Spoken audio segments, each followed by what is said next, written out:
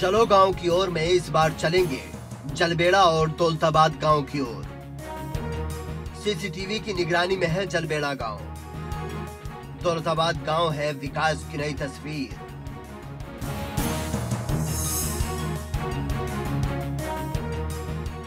देखिए, चलो गाँव की ओर।